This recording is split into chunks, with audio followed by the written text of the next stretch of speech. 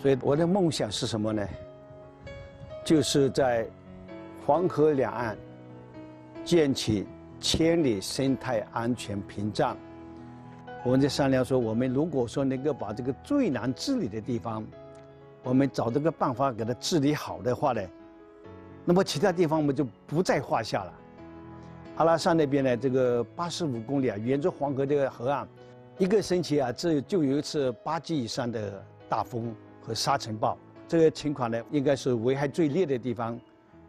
所以后来我们一三年呢，到了内蒙古阿拉善去开展实验，实在是太艰难了，因为像那个流动的沙地。如何固定的话呢？全世界没有报道过，没有任何人做过这个方面实验。我们去想用卷草治理的时候，呃，他们基本上是百分之百的反对。他说：“我们种树种了几十年了，都没解决的，你种这个草能行吗？”后来我们这个草啊，我们运到那边去种，整整经过了这个九十天啊，天天都是提心吊胆，因为我们搞不清楚。到底这个风会出现什么风？他们当地告告诉我，他说他们的车子啊，那个沙尘暴来的时候，那个车子开过去啊，那个车子外面的油漆啊，全部打得光溜溜的。在那个地方，我们怎么把草种下来？我们种下去以后呢，刚刚的芽长出来了，结果一进八级以上的沙尘暴来，把那个芽打得稀巴烂，然后呢？沙尘暴停了，有个三四天呢，那个草呢，又生长，又来一次沙尘暴，又把这个草啊，打得稀巴烂，一次又一次啊，大家，呃，很伤心啊。